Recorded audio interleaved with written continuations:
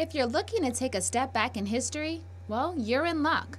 Maryland's largest, most comprehensive Civil War museum with all the official historical artifacts is up and running at the Maryland Historical Society in Baltimore. With the 150th anniversary and the fact that the first bloodshed of the war is on April 19, 1861 on Pratt Street, it was the moment, again, it was the big anniversary of the war to bring out this collection and and exhibit it, um, something that we have not done in decades.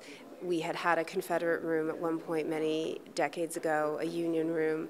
They were merged, and then for at least uh, three decades, you had no, virtually no Civil War artifacts on view in any large quantity. But we do have one of the finest collections in the country. The exhibit features over 5,000 feet of tell-all stories, authentic period attire, 3D video, and interactive demonstrations outlining the adventurous yet patriotic foundation of our country.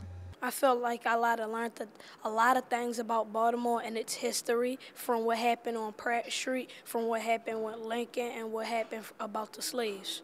Maryland sent over 60,000 men to serve in the Union Army, but as historians say, the actual alliance of Maryland residents during this time was swayed. So we're incredibly fortunate in that we have rare examples of things, sometimes, uh, in some instances, the only example of artifacts that are left, particularly Confederate artifacts, which is a insight into the leanings of Maryland during the war. Even though we were divided, um, we were officially in the Union, but when you look at the artifacts that came to us from these veterans, they're largely Confederate. The Historical Society says most of the artifacts were donated from local families. Equality Tayshawn who's visiting the exhibit on a class trip, thinks is simply remarkable. It was really interesting to know about what they used back then compared to what we use now. I wanted to learn more about the history of slavery that happened inside like the areas that we live in now and we want to learn this history about it just in case for the future. Now this is the largest exhibit in the Society's 167 year history.